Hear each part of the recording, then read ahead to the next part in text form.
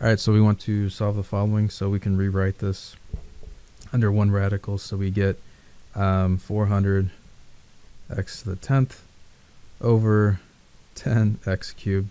So the next one I'm going to do is break this down into 100 times 4. Um,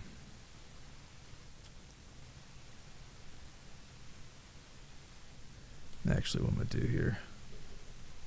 And actually, okay, so if if with this, all right, so 40 times 10x cubed times x to the seventh over 10x cubed. So 10x cancels that 10x cubed cancels out. So we have 40x to the seventh. And what we do here is um, we end up with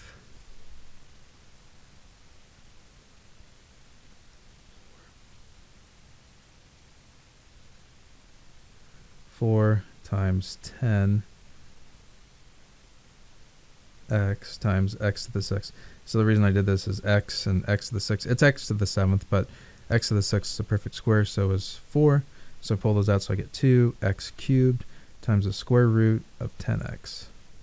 And that's it. All right. I hope this helps you out. Thanks for watching. Have